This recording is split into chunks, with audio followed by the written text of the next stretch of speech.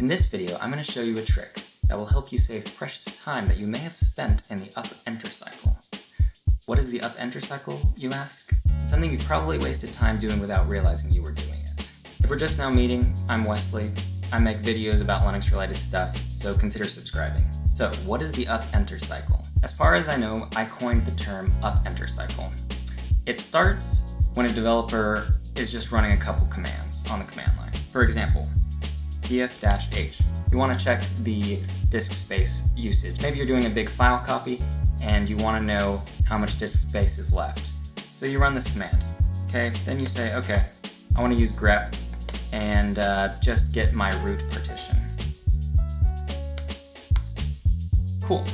So say, okay, that's good. Let me pipe that into awk and only get the percentage.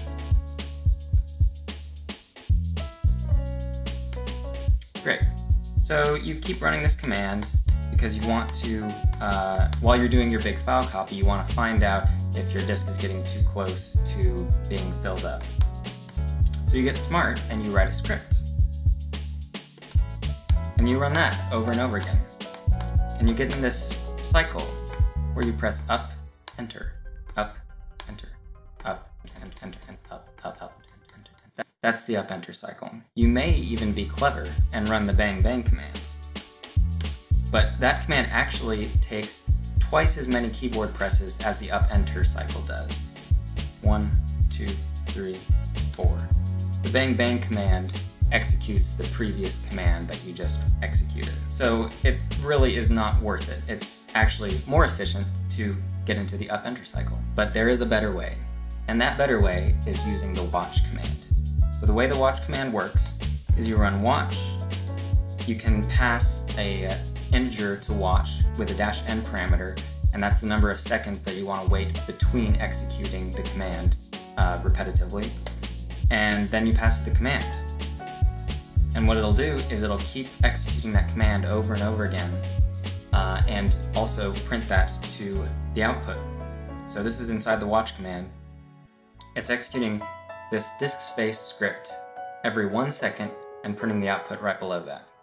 That's pretty cool. So say I'm working on a simple terminal-based C++ program. So I've got this Hello World application here. And I want to run, I want to compile it.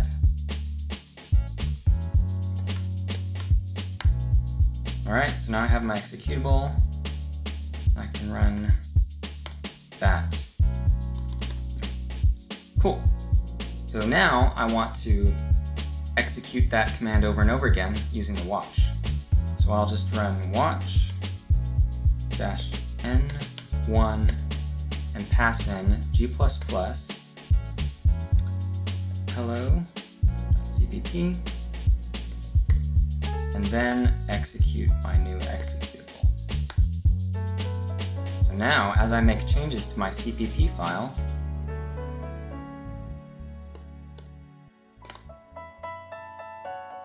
they're automatically printed. That's pretty cool.